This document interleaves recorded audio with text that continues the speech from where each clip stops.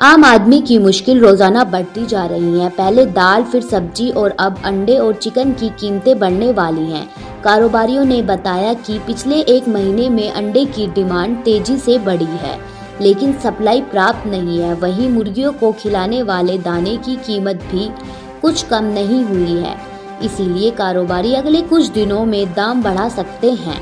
मौजूदा समय में रिटेल में बिकने वाले एक अंडे की कीमत सात रुपये है जो बढ़कर नौ रुपये तक पहुँच सकती है।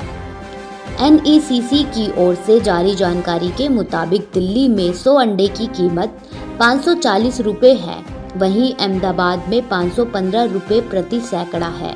अजमेर में 512 रुपये रांची में पाँच रुपये और पटना में पाँच रुपये लखनऊ में पाँच रुपये और वहीं वाराणसी में 560 रुपये प्रति सैकड़ा है।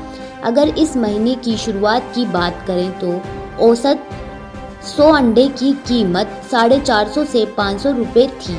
वहीं अब ये बढ़कर 560 रुपये प्रति सैकड़ा के पार पहुँच गई है। दिल्ली में मुर्गा मंडी गाजीपुर के कारोबारियों ने बताया, चिकन की कीमतें भी बढ़ने लगी हैं। सोमवार को थोक बाज़ार में चिकन के दाम 190 से 210 रुपए प्रति किलोग्राम हो गए। अगर रिटेल बाज़ार की बात करें तो इसकी कीमत अब 250 से 260 रुपए प्रति किलोग्राम है। आने वाले दिनों में कारोबारी 10 से 20 रुपए तक दाम बढ़ाने की तैयारी कर रहे हैं। कारोबारियों का कहना है कि साल के अंत में डिमांड 30 फ़ीसदी तक बढ़ सकती है।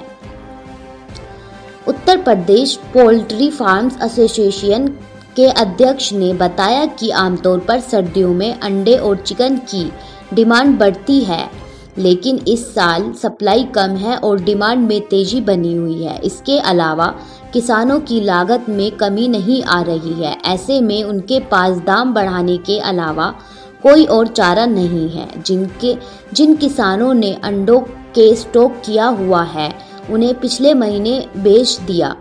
इसीलिए सप्लाई की चिंता बनी हुई है। खासकर देसी अंडों की डिमांड अचानक बढ़ गई है। ऐसे में दिसंबर अंत तक या नए साल की शुरुआत में अंडों के दाम दो रुपये बढ़ सकते हैं। Bureau report, market times TV.